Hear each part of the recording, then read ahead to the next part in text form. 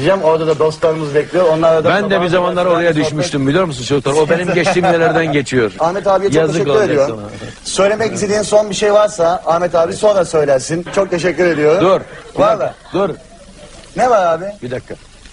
O şey, seni rahatsız etmeyecek bir şey söyleyeceğim. Tamam. Abi ne olur konuşma. Ne olur bunları söyleme. Ne olur bunları söyleme diye iki saattir beynimi şişirdi. Kendisine bir şey söylüyorum. Yükseltmeyin lan.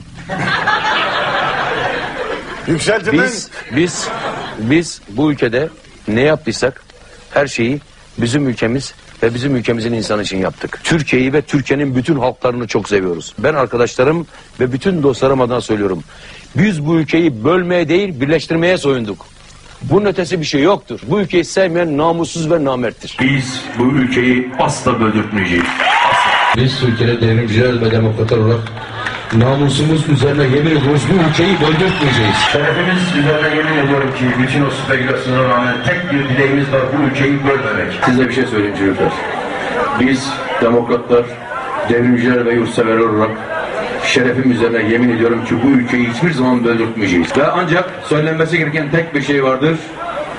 O kirli savaş bitmek zorunda. Bu kan, bu gözyaşı, bu revan artık bu 19-20 yaşındaki çocukların cenazelerine alışmak istemiyoruz gözüm. Bütün mesele bu. O bölmek, bölüştürmek muhabbetlerini yapıp savaşı sürdürüp savaş rantlarıyla köşeyi dönen şerefsiz ve namussuzlara inat, bağımsız, demokratik bir Türkiye'nin dürüst yurttaşlar olarak yaşamak istiyoruz. Başka bir mesele değil.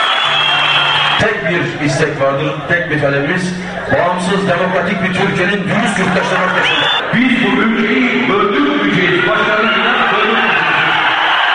Bağımsız, demokratik bir ülkenin dürüst yurttaşlar olarak yaşamak istiyoruz. Bizim tek bir talebimiz vardı, bağımsız, demokratik bir ülkenin dürüst yurttaşlar olarak yaşamak. Kimse endişe duymasın. Biz şerefimiz üzerine yemin ettik. Bu ülkeyi böldürtmeyeceğiz. Yani bir şekilde herkes yani başı belalıdır ama dünyadaki en onurlu, en güzel şey haksızlığa göğüs geren, bunun savaşını veren ve tek dileği bağımsız, demokratik bir ülkenin dürüst yurttaşı olarak yaşamak isteyen insanların belasıdır. Demokratik bir Türkiye'nin dürüst yurttaşı olarak yaşamak istiyoruz. Biz